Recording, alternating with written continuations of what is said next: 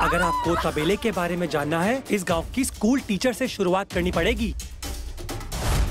जल्द से जल्द उन तबेले के मालिक का पता लगाओ।